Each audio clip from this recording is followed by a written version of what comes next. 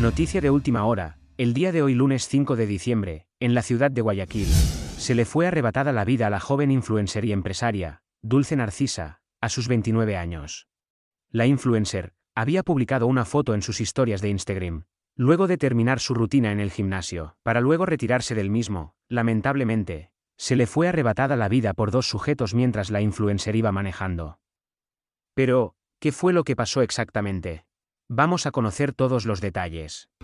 Pero antes de continuar, te doy la bienvenida a tu canal Aguacate Noticias. Recuerda darle like a este vídeo y suscribirte, de esta forma me estarías ayudando.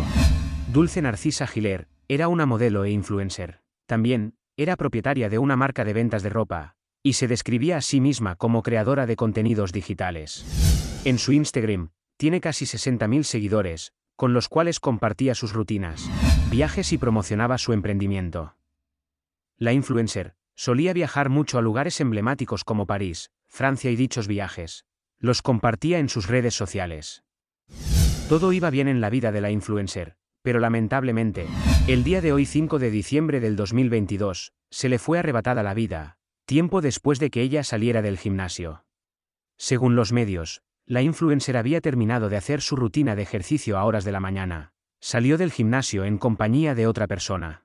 Según los medios, la joven se trasladaba en su vehículo en la vía perimetral, cuando de repente unos sujetos que se movilizaban en moto, atacaron con varios impactos de bala al vehículo en el que se transportaba la influencer, la cual, ante este suceso, perdió el control del auto, y terminó impactando contra el parterre central de la vía. Luego de este lamentable suceso, sus seguidores y familiares dejaron varios mensajes de despedida en sus últimas publicaciones de Instagram. Horas antes de su fallecimiento, Dulce Narcisa se tomó una selfie en el espejo del gimnasio. Se la podía ver con una sonrisa en su rostro. Es una pena lo que ha pasado, lamentamos la pérdida y muchísimas fuerzas a sus familiares y amigos. ¿Y tú qué opinas sobre todo esto que está pasando? Déjame tu opinión aquí abajito en los comentarios. Recuerda darle like al vídeo y suscribirte a tu canal Aguacate Noticias, de esta forma me estarías ayudando.